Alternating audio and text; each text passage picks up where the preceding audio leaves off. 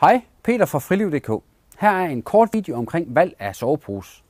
Der findes på markedet masser af soveposer. Bare her hos Friliv har vi mere end 100 forskellige modeller til salg, så det kan være svært at vælge. Dybest set har vi seks forskellige slags soveposer, ikke bare her hos os, men på markedet i det hele taget. Der er øh, fibersoveposer, og der er dunsoveposer, og det er jo selvfølgelig det indhold, der giver varme i soveposerne. Så er der en sommer, og der er en 60 sæsons, og der er vintersoveposer, og det forholder sig til, hvor varm er de her soveposer så. Så når øh, du skal vælge din nye sovepose, skal du først finde ud af, skal det være fiber, eller skal det være dun. Fiber er godt, fordi det er billigere, og fordi det er knap så fugtresistent, som dun er. Dun kan godt finde på at klappe en lille smule sammen, når det bliver fugtige. Derfor så er fiber bedre i fugtige miljøer.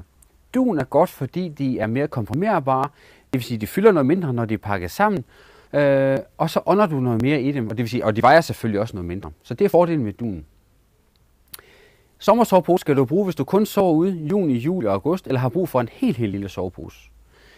En træsæson, det er jo så fra, øh, det er jo, der tager vi forårs- og efterårssæsonen med, så det er forår, sommer og efterår. Og vintersovepose skal du jo vælge, hvis du sover ude hele året, eller i hvert fald skal bruge en sovepose, der kan holde dig varm, når det er rigtig koldt. Husk nu på, at vi kan godt have nattefrost helt i maj, og vi kan sagtens have nattefrost igen i september.